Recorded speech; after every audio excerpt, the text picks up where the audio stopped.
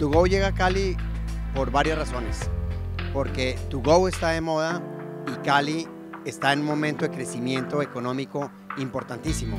Creo que en ese momento To Go es una propuesta muy diferente que es muy atractiva para el mercado caleño.